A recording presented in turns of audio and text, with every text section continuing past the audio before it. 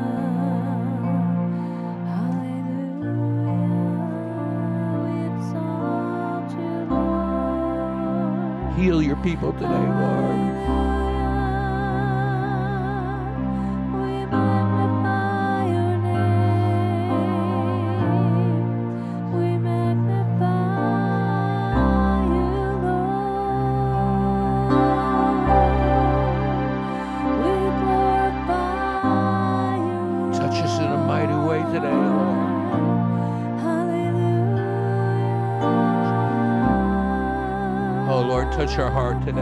You are worthy, my God. You are worthy to be praised. Jesus.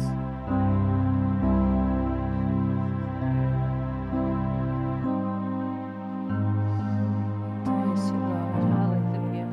Oh, let us be still and Hallelujah. let us be still and hear your sweet voice this morning,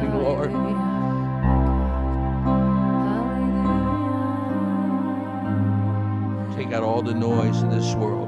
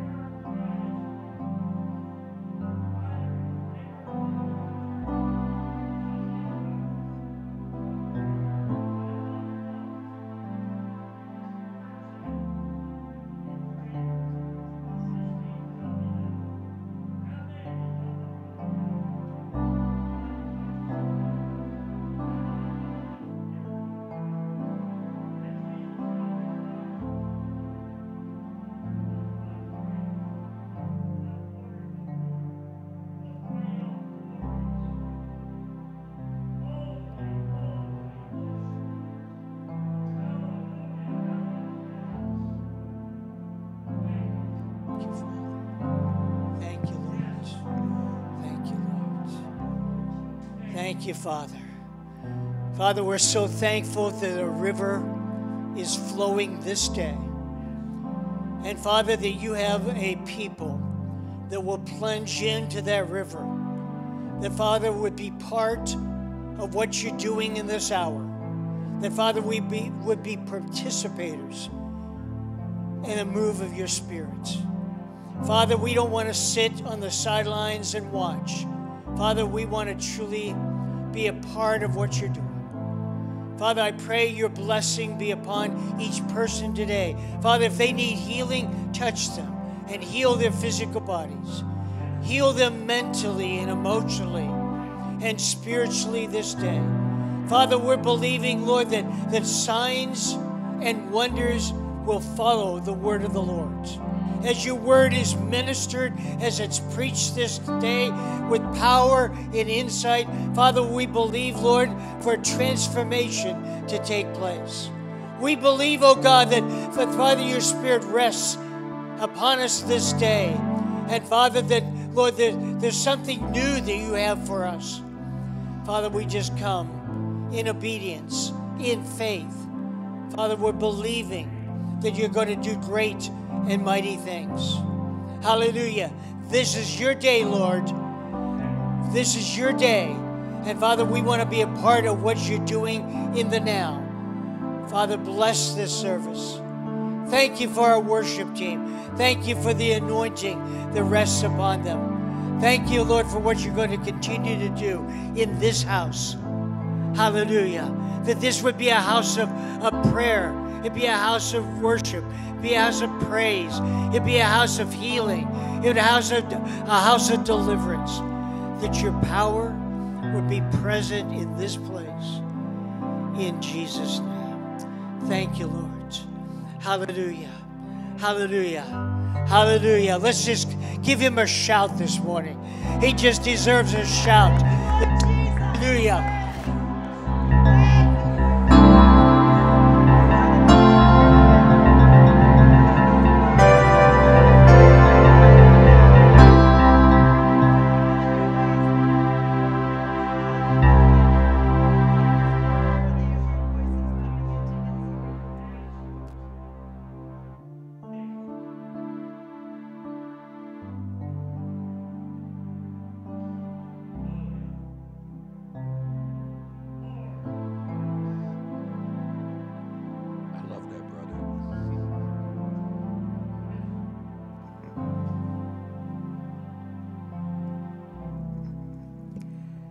Morning.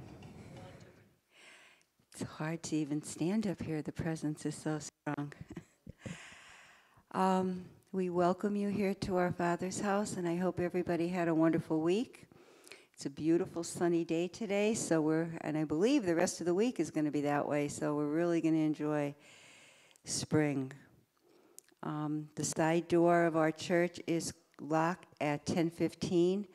Um, anybody else coming a little bit later can come through the front. It's for our safety. Um, this week we want to. Our Wednesday service is going to be online at 7 p.m. And our food basket is at 10 a.m. on Wednesdays till 12 noon. And uh, all are welcome. Communion is available on the communion table every Sunday during worship and at the end of service. There's a special note here the 2021 Northeast Pennsylvania Mantour Conference will be held on May 1st in Trucksville, Pennsylvania. Registration forms are in the foyer, and any questions, you can see uh, Pastor Tom Dugan.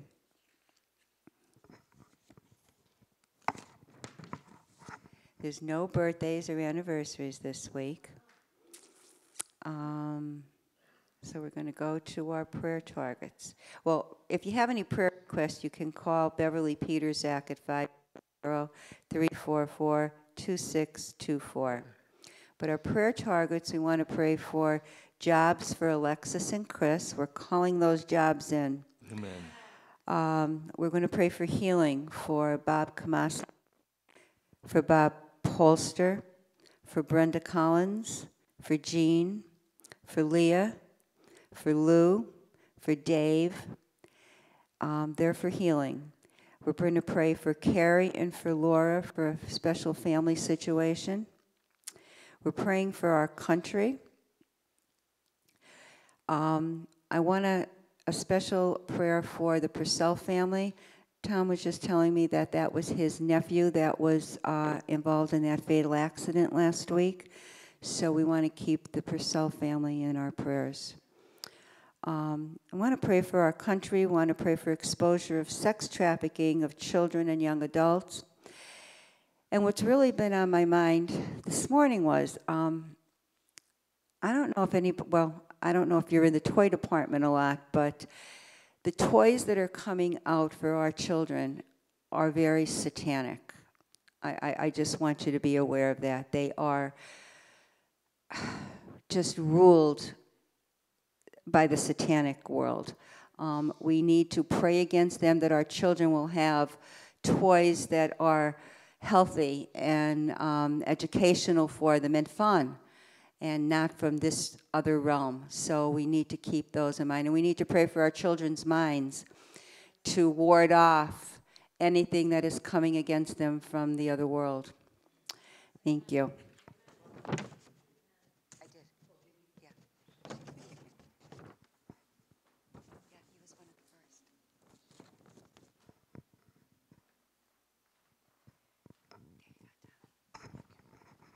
Good morning. Good Morning. Just to uh, reiterate that Mantour Conference is coming up on May the 1st.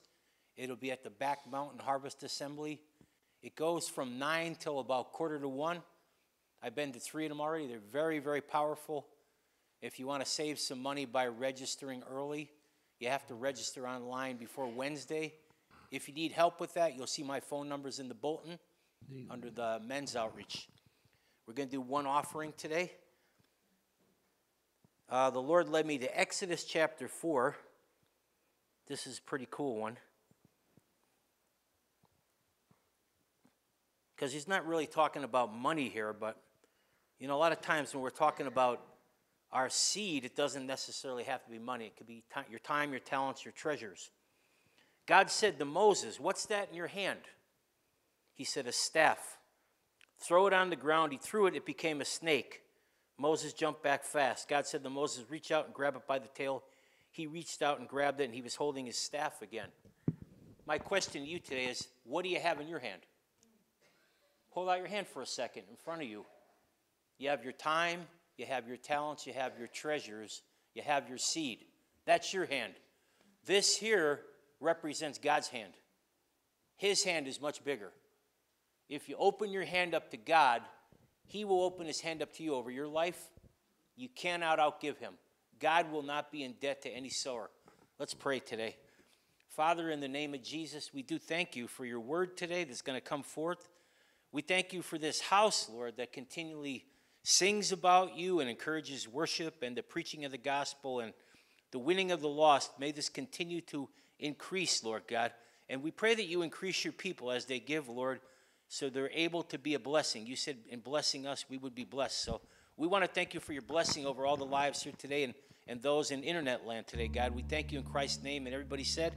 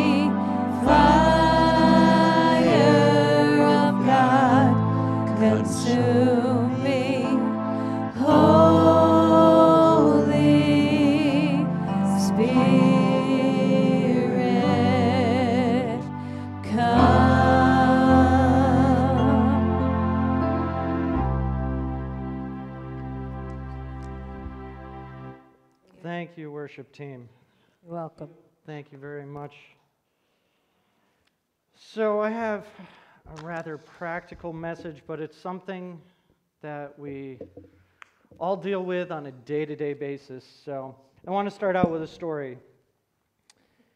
So, um, story says one small town was visited by a saint. As he passed by a hut, a woman came to him and begged him to pray for a critically ill child.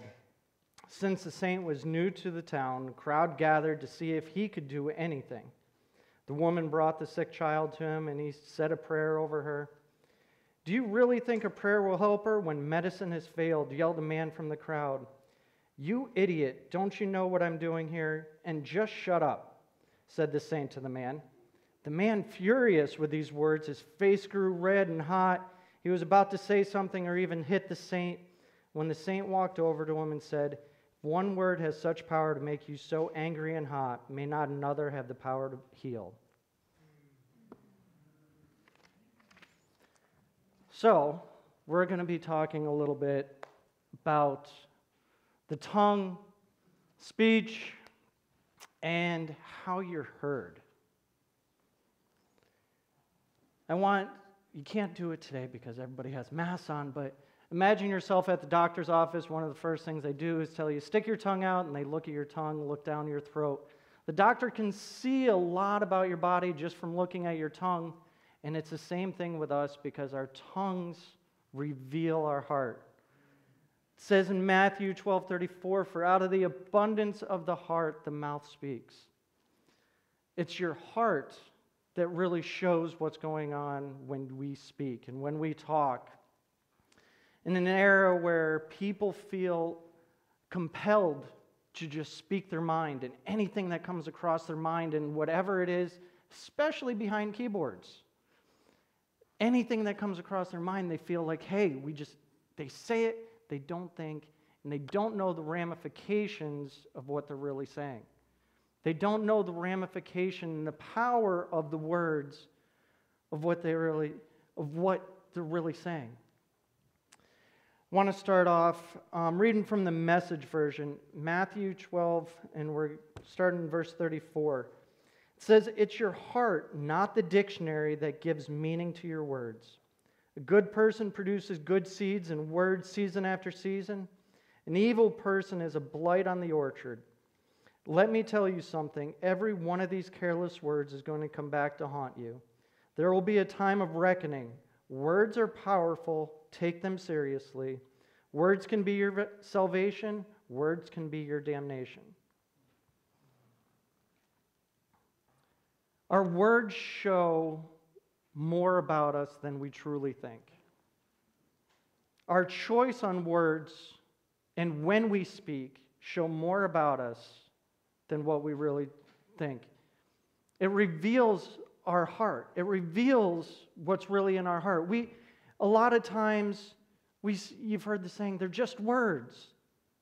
They're just words. And even when you're not meaning those words, it's revealing an area in that heart, in your heart, where God still needs to do a little bit of work.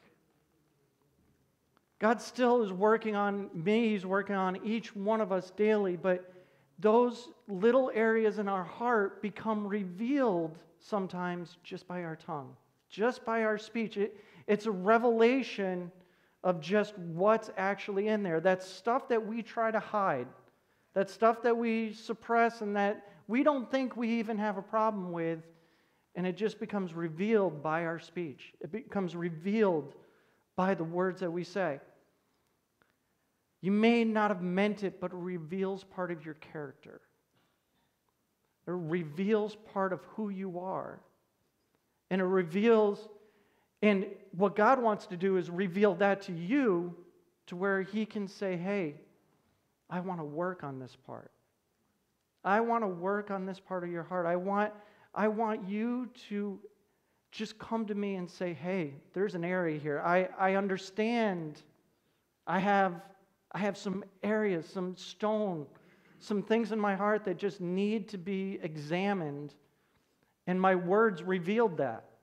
And it should be a check within each one of our lives to when we come and our emotions get the best of us, and when different things happen, we come into different periods of our life where we have all come to that point to where we say something we regret.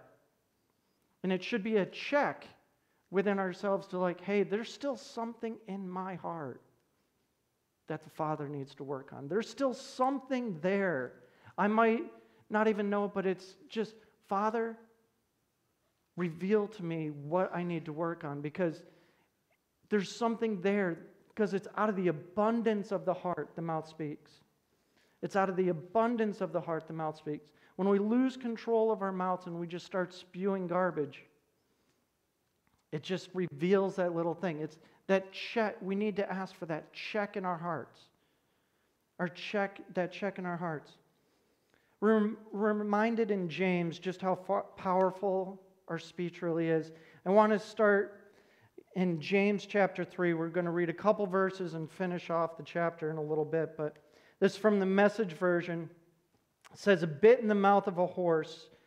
Um, this is starting in verse 3. A bit out of the mouth of a horse the, controls the whole horse. A small rudder on a huge ship in the hands of a skilled captain sets course in the face of strong winds. A word out of your mouth may seem of no account, but it can accomplish nearly anything or destroy it. It only takes a spark, remember, to set off a forest fire. A careless or wrongly placed word out of your mouth can do that. By our speech, we can ruin the world, turn harmony to chaos, throw mud on a reputation, send the whole world up in smoke, and go up in smoke with it. Smoke right from the pit of hell. This is scary. You can tame a tiger, but you can't tame a tongue.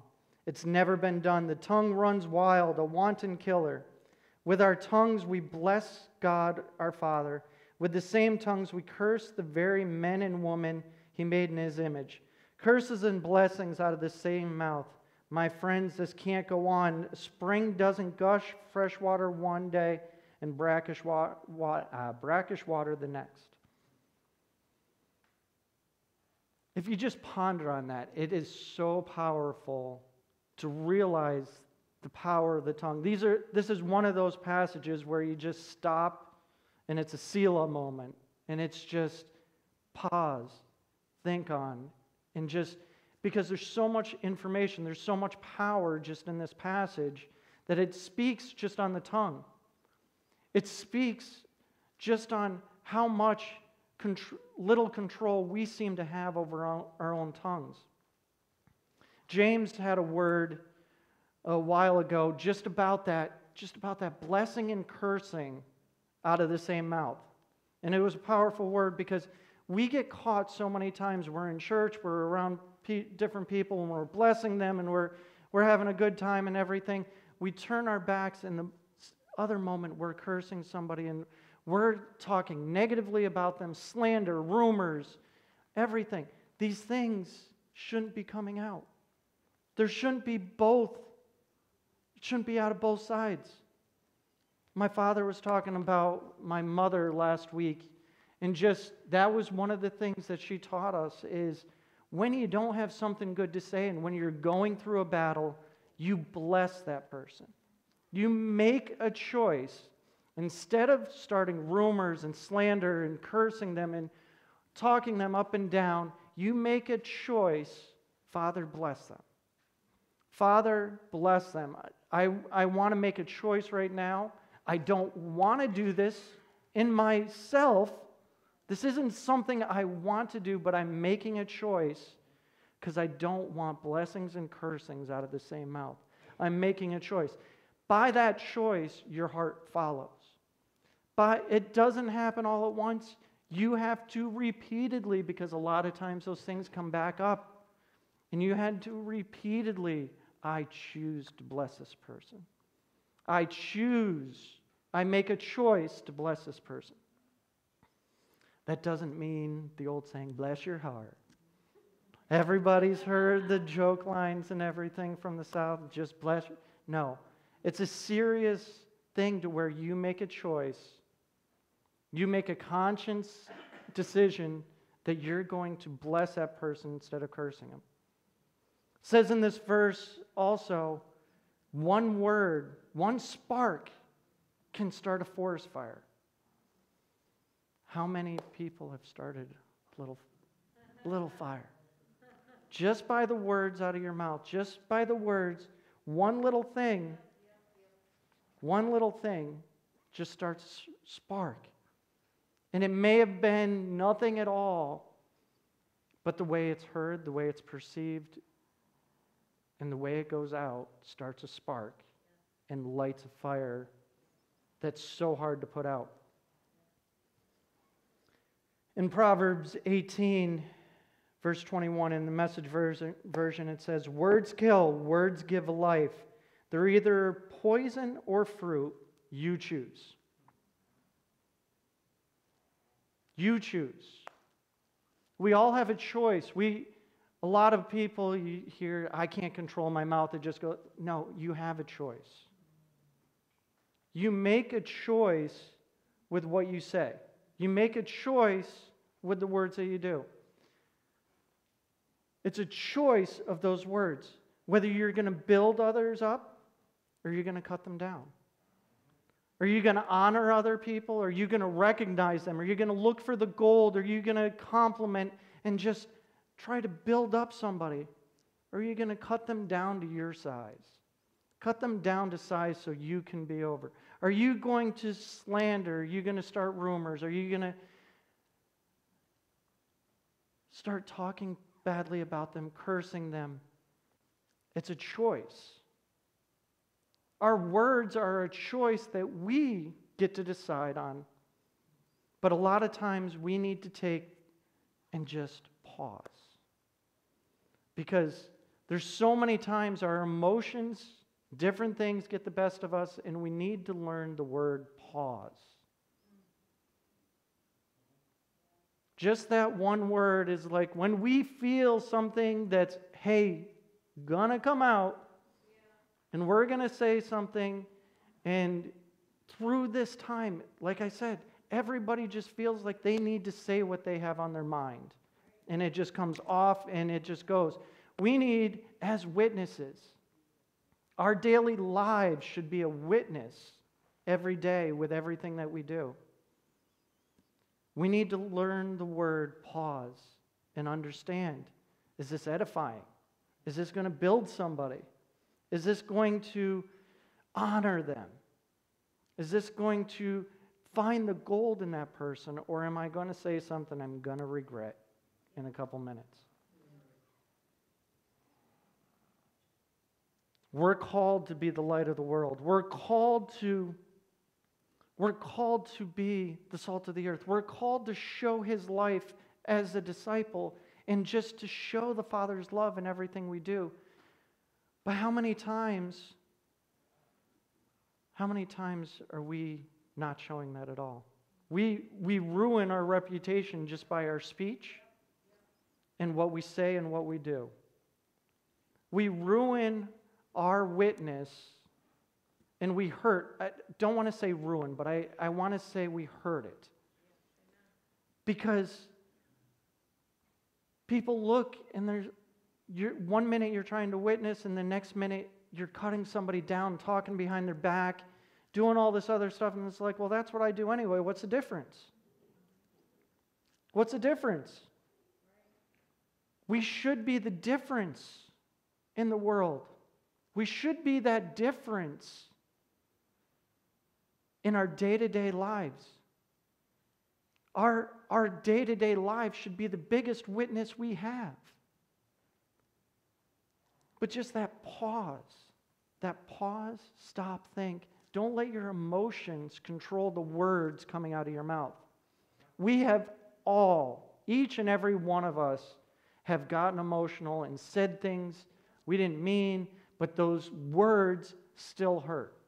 Those words still had effect. You can say, I didn't mean it, you can do that, but it still has effect. It still has power.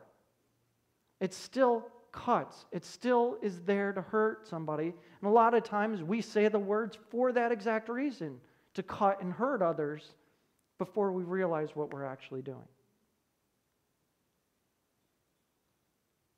We're called to be a witness in every part of our life. We're called to be examples of the Father, be example of the Father's love.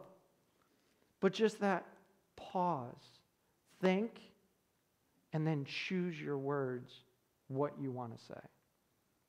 Just take that moment to pause, think about what you're going to say, and then make a decision. We're still all going to make wrong decisions. We're all probably going to say something we regret. But this, just those simple three things pause, think, and make a choice can stop a lot of the different bad decisions that we make without even thinking about it. And we live to regret. We need to seek wisdom. In James chapter 1, verse 19, it says, Post this at all the intersection, dear friends. Lead with your ears, follow with your tongue, and let anger struggle, straggle in the rear. Tongue twist. Anger and emotions sometimes stop that little thing in our brain to like, do I really want to say this? How many times do our emotions, that emotion thing, just it it cuts off that trigger point to where we don't even think we just start spewing things out of our mouth, that garbage. We just need to pause, stop, think, and make a choice. In James 13, 18, talks just about that wisdom.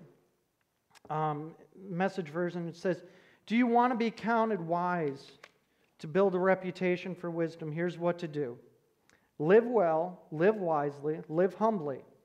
It's the way you live, not the way you talk, that counts. Mean spirited ambition isn't wisdom. Boasting that you are wise isn't wisdom. Twisting the truth to make yourself sound wise isn't wisdom. It's the furthest thing from wisdom.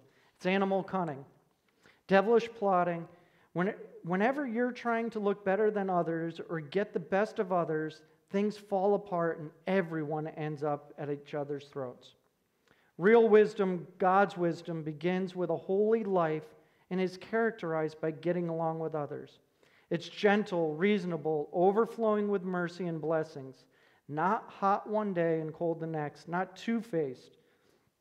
You can develop a healthy, robust community that lives right with God and enjoys its result only if you do the hard work of getting along with each other, treating each other with dignity and honor. Wisdom isn't building yourself up. That wisdom, it's not building yourself up to make others look bad.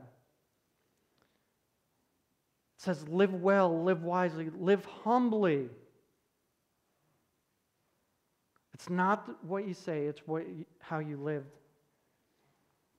just that pause we just need that pause, think. We need that wisdom from the Father. We need to look. We need to ask for that wisdom from the Father that we would just come to that point. Is this going to edify? Is this going to build somebody up? Second part about our speech is sometimes our tone plays a huge role in what we say in how we say it. Our tone, our tone when we respond to others, our tone when we are just going back and forth, it goes right into the emotional factor.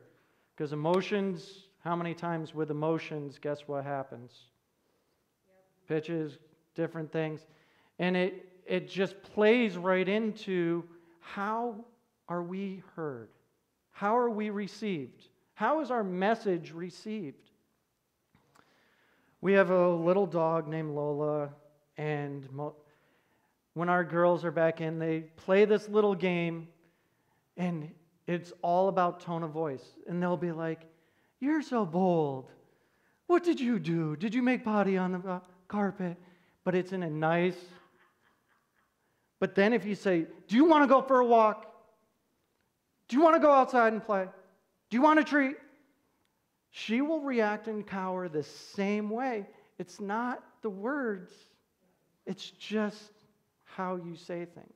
So many, we get so caught up, and words have power, words have meaning, this is all going to wrap together here.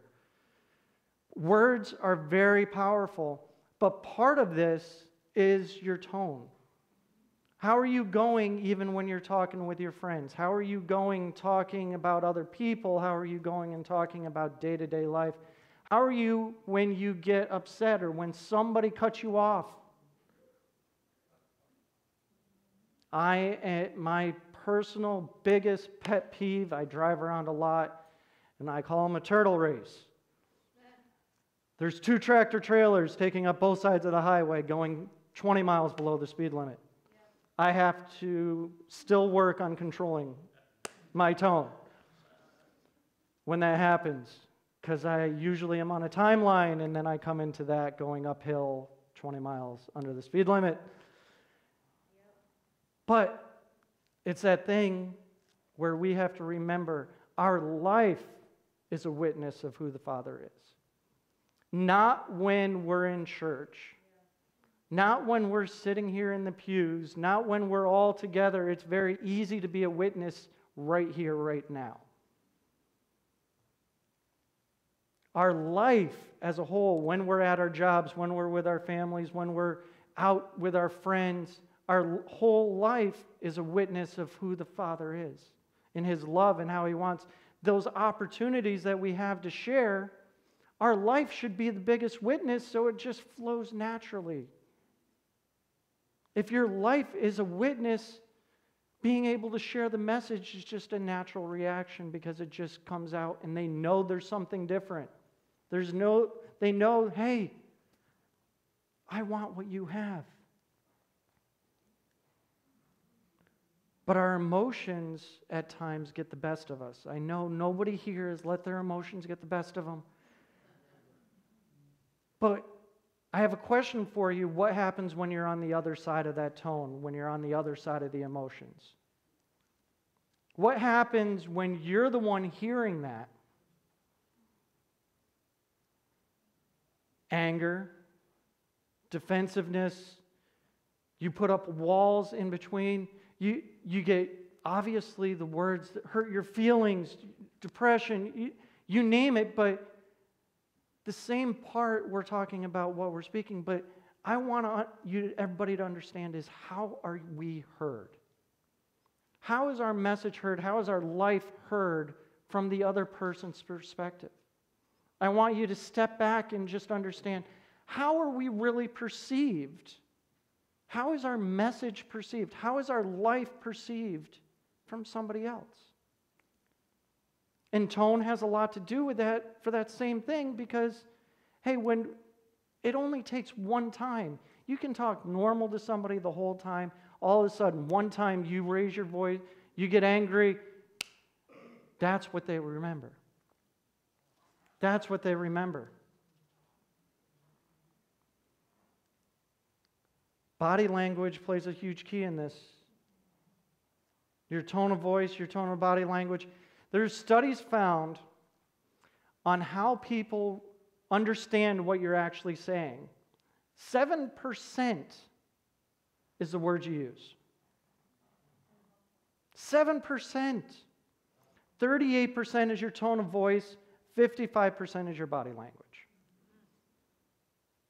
Still go back, words are very powerful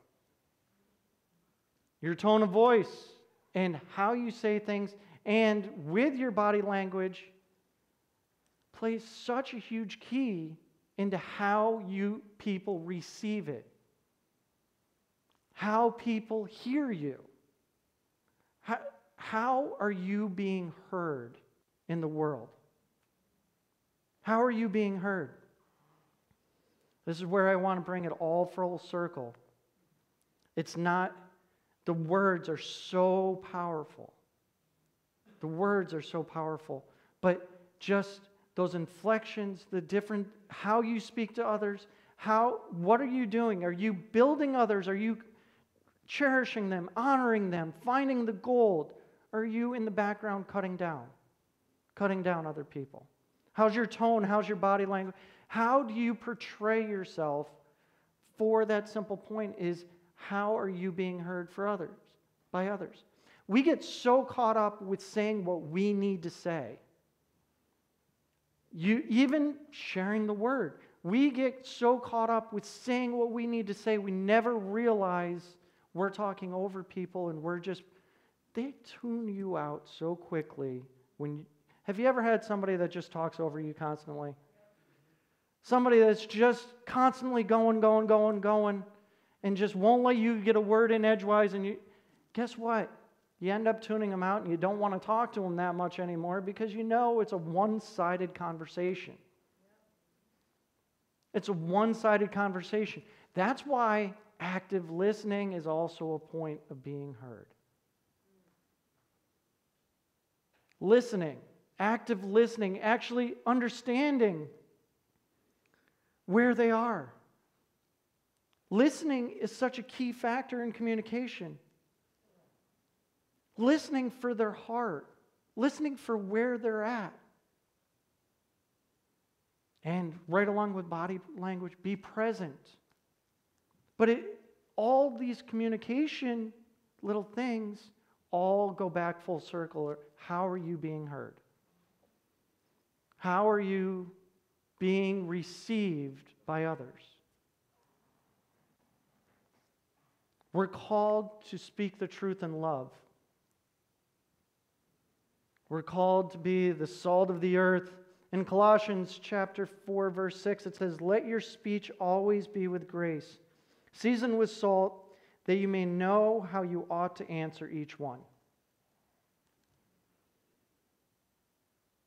Here's a little story. I'm this I I prepare this nice dinner. I invite you all over beautiful meal all laid out.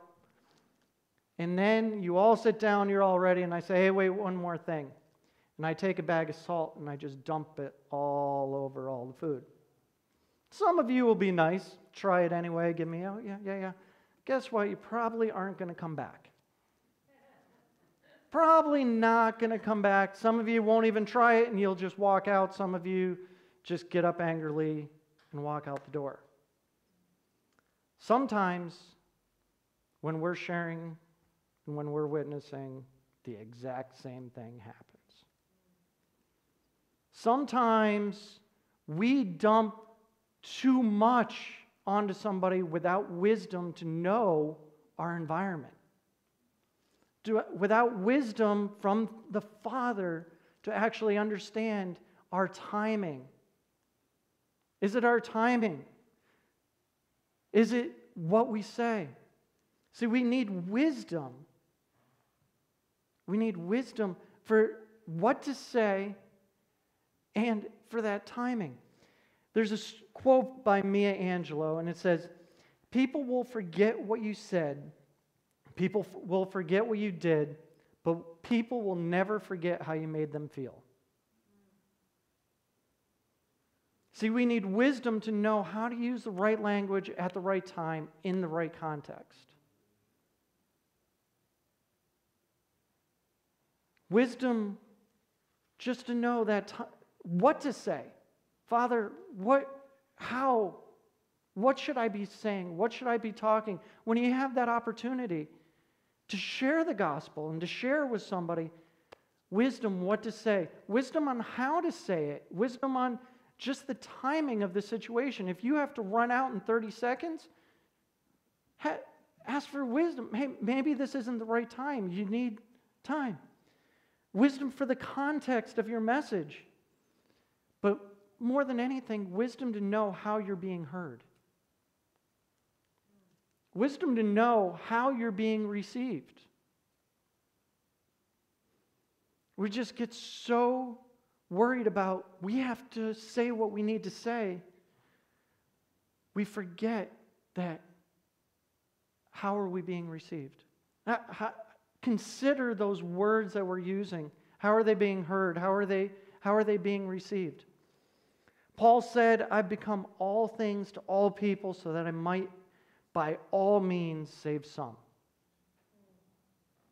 Sometimes we need to adapt outside of our box and outside of our ritual, outside of even if you are sharing the gospel right now, sometimes we need to adapt a little bit on how we share and think of and ask for that wisdom. Father, circumstance, whatever the circumstances, what do you want and how should I share this with others? How should I share? We need to rethink. We need to rethink the, the conversations, how the conversations display God's love, how our conversations display who God is and His love, who the Father is. Do our conversations represent the Father's love? Do our conversations with our friends represent the Father's love? Our witness needs to become important to us to where every day when we're walking, we have that check in our heart. We have that check am I, am I creating a good witness? I'm not even sh- saying share the gospel. I'm not even, but your life can be your biggest witness. Your life and how you live it, people will understand you're different. Why are you not cutting other people down? Why are you not joining in with others when they're all slamming somebody else? Why are you do why are you building somebody up all the time? They understand there's a difference about you. And just by your life, you didn't share one word of the gospel, but your life, by your speech, by your actions, by how you communicate, can be the biggest witness to show the Father's love. We need to become intentionally influential. Intentionally influential. We need to be influential in our community, in our jobs, in that.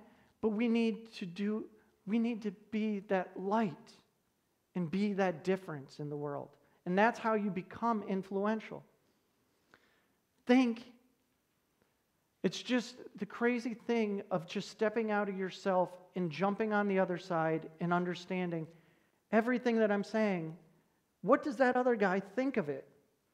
Rather than, I just got to get out what I'm saying, or rather than what's going on. When your emotions get going, stop, think, make a choice. Think of how it is on the other side. We need to come to the realization of how are we being heard? How are we being heard? In closing, I want to go to Colossians chapter 4, um, starting in verse 5. It says, Use your heads as you live and work among outsiders. Don't miss a trick. Most of, make the most of every opportunity. Be gracious in your speech the goal is to bring out the best in others in a conversation, not put them down, not cut them out. We need to, to look for opportunities to where we can build them up, to bring the best out of each out of others. It's so easy. It's sometimes our natural instinct to find dirt to find what's wrong with somebody else because it's almost a natural instinct we want to bring them down to our level rather than making a choice to raise somebody up and honoring them and building them. This world around us that we live in, all we hear in the media and news and all these different things, it's all about tearing others down, trying to find ways to tear others down. And yet, we're here supposed to be in the light of the world. That's why it's such a difference to everybody around us because everybody out there, it becomes natural to tear others down. It becomes that natural thing. And it, it reveals that area in our heart where the Father still needs to work. It reveals that area in our heart. My biggest challenge to you today is those three words pause, think, and choose. Pause, think, and choose. Take, take that moment just to pause, breath, think about what you're going to say, ask for wisdom, and then choose how you're going to respond. Because we have to make a choice a lot of times on what we say and what we do because for it reflects our mission. It reflects our message, it reflects our witness of who we are. We all want to be witness, we all want to live for the Father's love, but re- we have to make those choices to where am I reflecting the Father's love? Is what I'm saying reflecting the Father's love? And ask yourself to step back and just how am I being heard? How am I being received? Because sometimes we don't even realize the things that we say and the things that we do. We don't realize what actually is happening, how we're being heard. And it's sometimes that step back and just saying, I want to understand this, but we all have a choice. It's a choice that we make the words that come out of our mouth, the way they come out of their mouth, and what we do with them. We need to ask the Father for just that help recognizing it. Recognizing and just putting that little that little notch and just say, Father, I realize, I realize there's something still there in my heart. Thank you.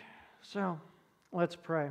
Father, we just thank you today. We thank you for your word. We thank you for just your presence even today as we go, Lord.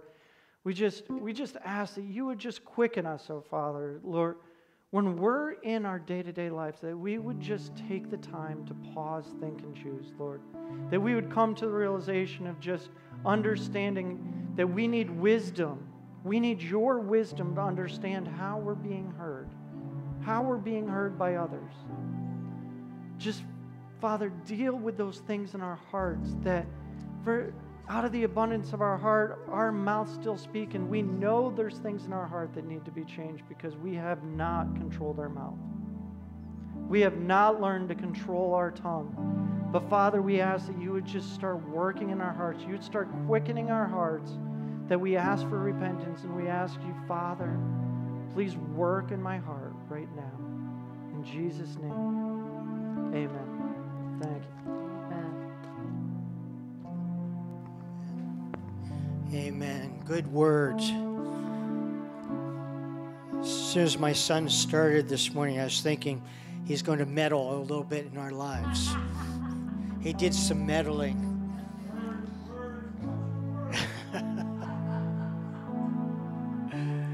and you know, from the very beginning, I kept getting a word. And that word was that we need an indicator light within our lives. Now, in a car, an indicator light tells you whether you're going left or you're going right. You turn on the turning signal, and that light is there to show whether you're going left, going right. But see, all that was said this morning will not have an effect upon your life unless, unless there's a spirit of conviction within our hearts. How many realize that you won't change?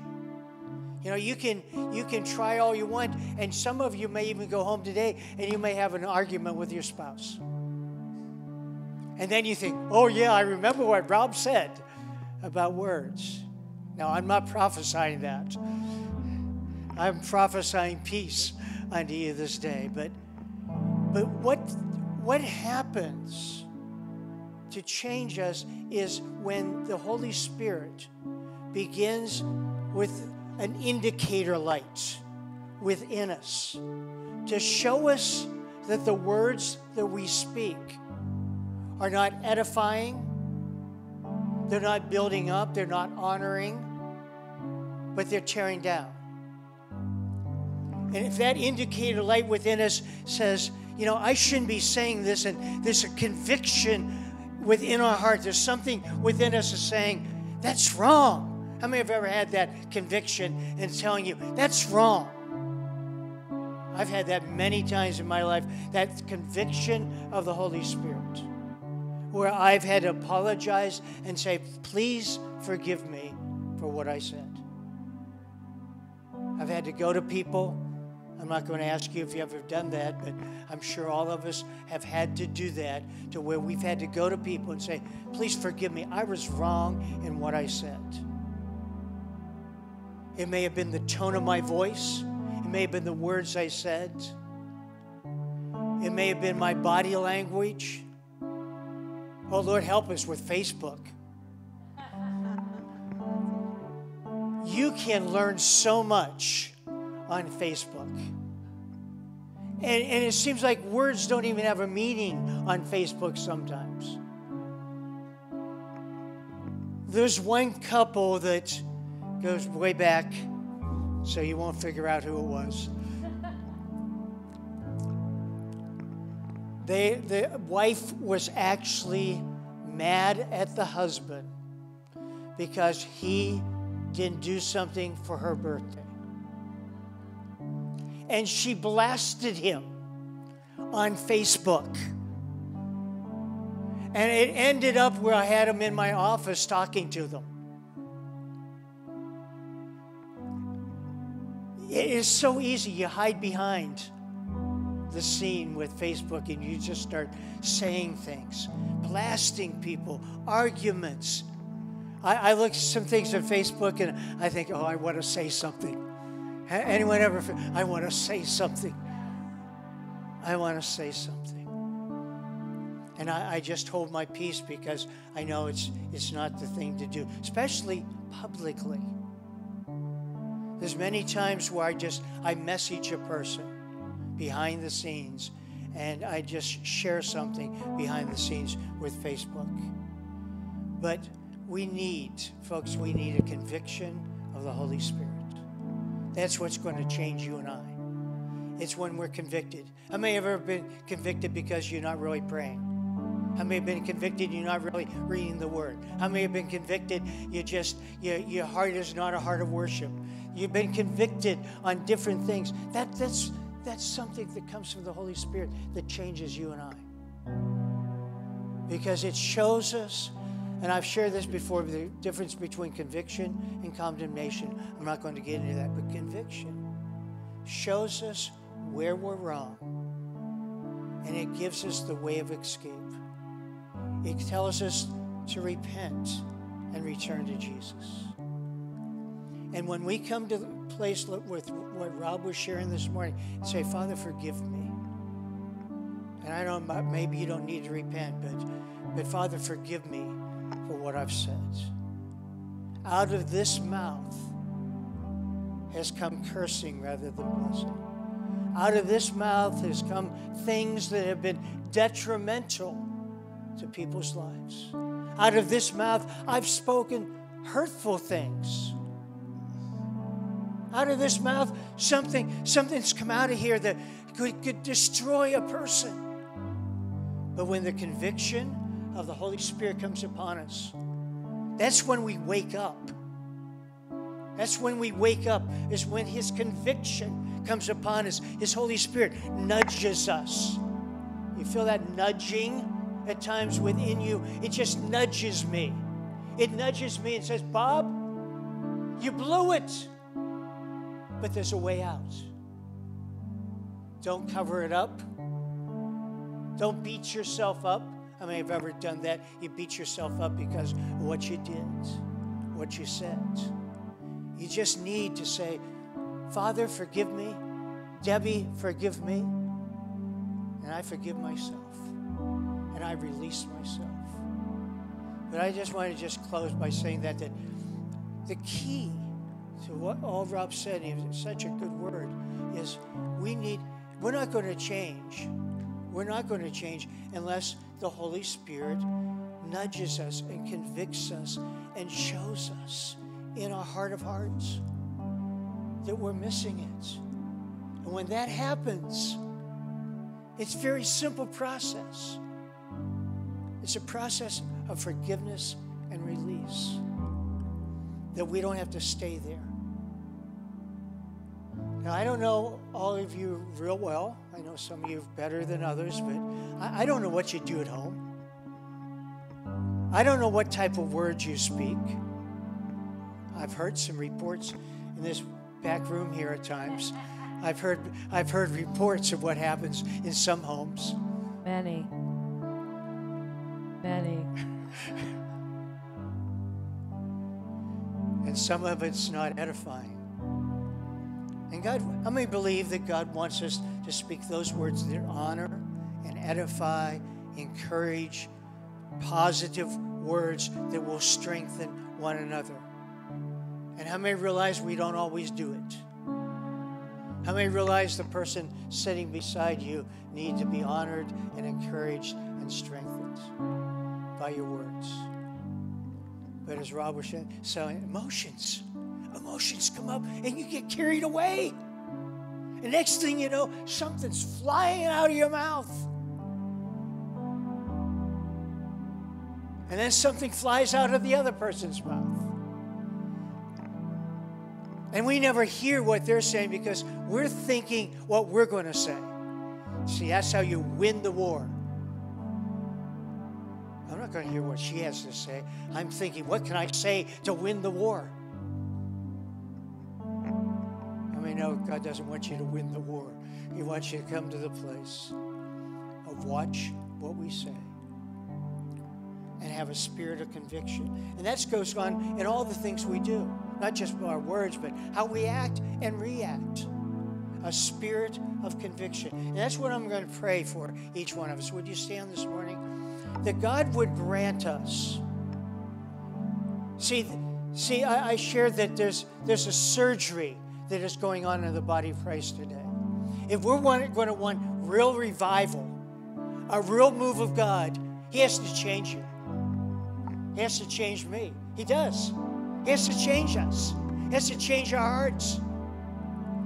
For us to be changed, there has to come a spirit of conviction by the Holy Spirit and saying, You need to get these things out of your hearts so I can pour in more and more and more into you like, like I really want to. How many believe this morning God's ready? How many believe God's ready? I, I want you to, you have to believe that, that God's ready. God is ready. God's ready to move in northeastern Pennsylvania. God's ready. He's ready. I, I tell you, He is ready. But why doesn't He do it? Because He's awakening the church. See, it has to start with us. And it has to start with a, a spirit of conviction.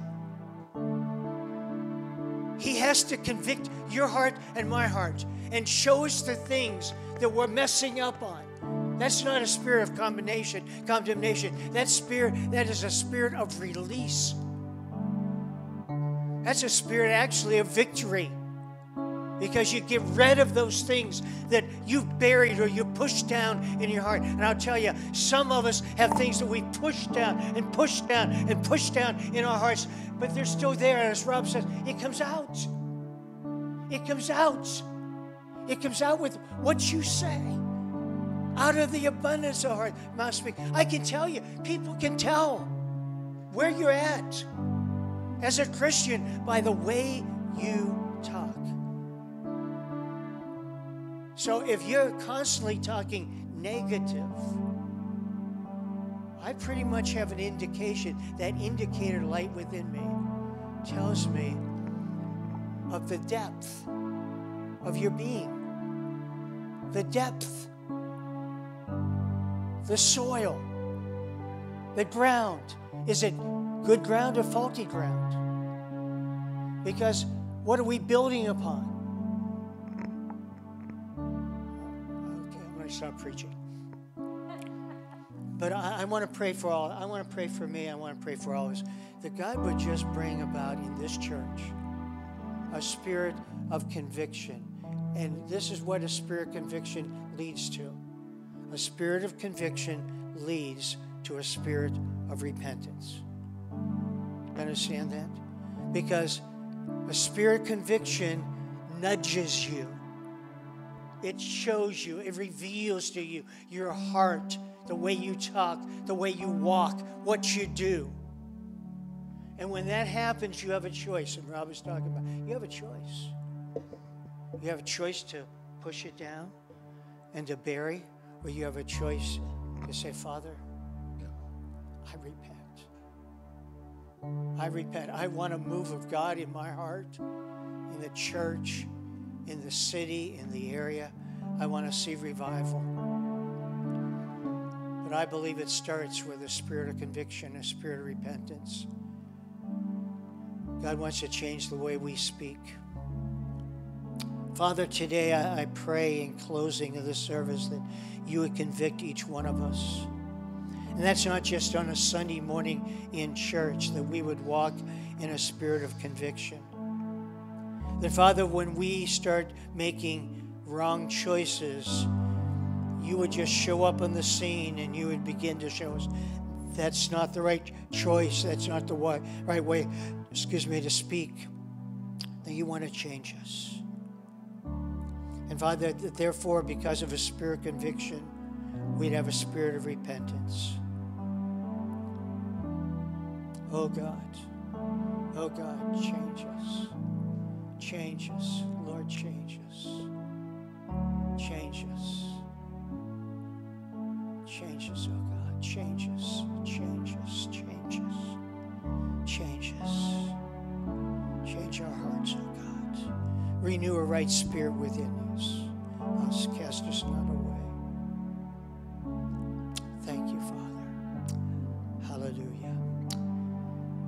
Hallelujah. Hallelujah. Hallelujah. We bless you this morning. We bless you. I just want to just give you a, note. And that note is that Wednesday night I'm going to talk about Joseph again, but next Sunday I've been feeling this for over a week now. How many have heard of progressive Christianity? That term. Not too many. Well, we're going to talk about it next Sunday morning because progressive Christianity is seeping into the church.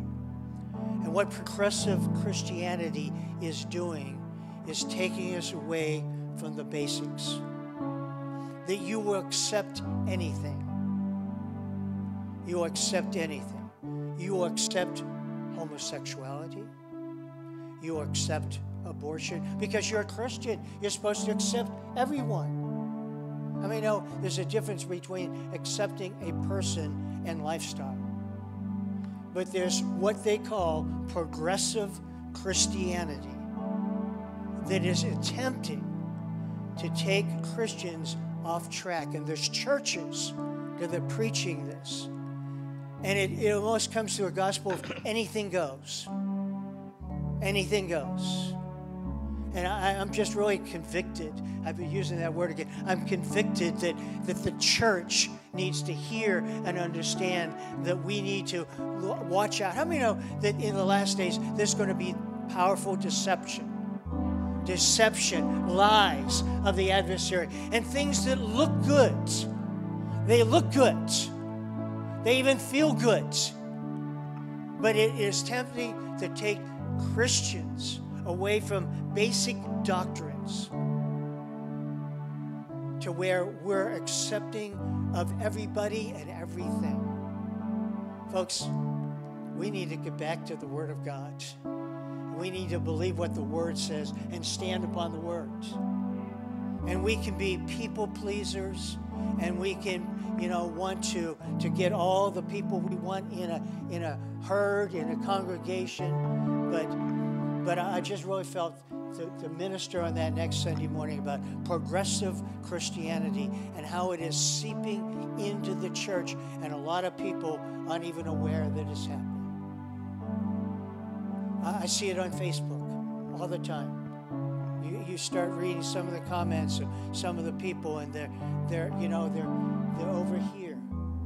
You know, we have to accept everything because you're a Christian. Right, Kathy? You you love everybody, you know. So you know, let's let's encompass let's encompass everything.